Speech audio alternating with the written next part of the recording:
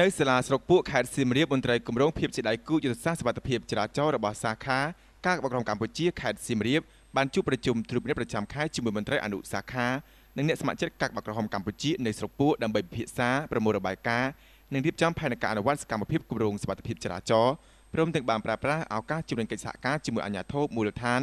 និងអ្នកស្ម័គ្រចិត្តក្នុងតំបន់គោលដៅផងដែរ។ ជាមួយនឹងដំណើរការនៃកិច្ចប្រជុំនេះលោកសុតឡៃមន្ត្រីគម្រោងភាពចរាចរណ៍គូសវត្ថិភាពចរាចរណ៍នៃសាខាកាកបកកម្ពុជាខេត្តសៀមរាបបានសង្កត់ធ្ងន់ទៅលើសេចក្តីរាយការណ៍ស្តីអំពីលទ្ធផលនៃការសម្រេចបាននៃសកម្មភាពអនុវត្តគម្រោងកន្លងមកនិងការរៀបចំគម្រោងផែនការសកម្មភាពដែលផ្ដោតទៅលើការអប់រំផ្សព្វផ្សាយអំពីហានិភ័យនិងការបើកបរក្រុមអត្តពលគ្រឿងស្រវឹងនិងការបើកបរមិនពាក់មួកសុវត្ថិភាពនៅតាមបណ្ដាសហគមន៍គោលដៅ។ សូមបញ្ជាក់ផងដែរថាគោលដៅសកម្មភាពដែលត្រូវបានអនុវត្តរបស់គម្រោងក្នុងជំហានសាកល្បងនេះគឺត្រូវបានចាប់ផ្ដើមអនុវត្តពីដើមឆ្នាំ2013លើបណ្ដាឃុំសង្កាត់នានាចំនួន13ដែលស្ថិតនៅតាមបណ្ដោយផ្លូវជាតិលេខ6ក្នុងនោះរួមមានស្រុកប្រាសាទបាគងក្រុងសៀមរាបនិងស្រុកពួកនៅក្នុងកិច្ចប្រជុំពិភាក្សានេះផងដែរក៏ត្រូវបានប្រមូលផ្ដុំរបាយការណ៍ស្ដីអំពីបញ្ហាប្រឈមនានាផងដែរស្ដីអំពីបញ្ហាអវិជ្ជមានដែលជួបប្រទះក្នុងសកម្មភាពអប់រំផ្សព្វផ្សាយនោះដើម្បីឈានទៅរកការកែលម្អវិធីសាស្ត្រថ្មីៗបម្រើឲ្យការងារអប់រំផ្សព្វផ្សាយទទួលបានជោគជ័យដែលជាសំខាន់ គឺប្រសិទ្ធភាពនៃការបញ្ជ្រាបការយល់ដឹងស្តីអំពីសុវត្ថិភាពចរាចរណ៍ផ្លូវគោកបានចូលជ្រៅទៅក្នុងស្រទាប់ប្រជាជនសហគមន៍ដែលមានមូលដ្ឋាននៅតាមបណ្ដោយផ្លូវជាតិកាត់បន្ថយនឹងការពីគ្រោះថ្នាក់ចរាចរណ៍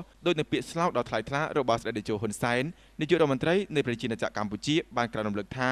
សូមឲ្យថ្ងៃនេះថ្ងៃស្អែកកុំឲ្យមានគ្រោះថ្នាក់ចរាចរណ៍